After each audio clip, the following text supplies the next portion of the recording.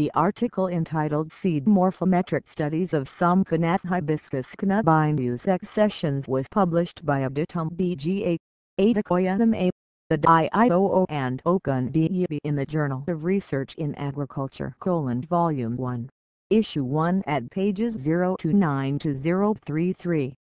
The summary of this article goes on as follows. 15 Kenaf lines collected from Kenaf and Jute Improvement Program of Institute of Agricultural Research and Training. I.A.R.Nt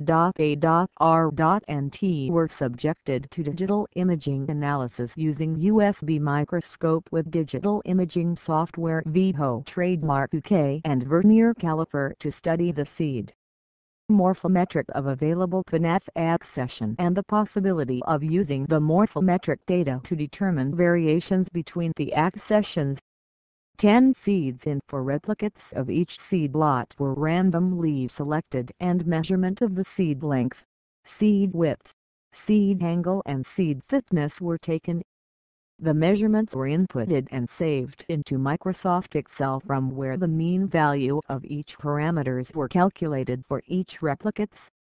Data were subjected to analysis of variance, correlation analysis, principal component analysis and clustering analysis.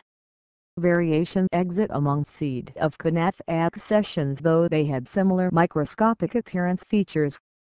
Seed area which was a function of seed length and seed width contributed largely to the variation that exist between the seed of kenaf accessions. Accession HC 583-312 clearly distinguished itself from others and therefore can be used in parent selection during breeding programs. The inclusion of this seed morphometrics trait in taxonomic description of kenaf is recommended to increase the accuracy of morphological classification of kenaf. You may also publish your research articles with us with good peer review and elite standards. Kindly visit www.jprise.info for further details. For submission Submit your articles to submit at jprise.info. Thank you for listening us. Keep watching and learn good. This audio was brought to you by www.arjal.org.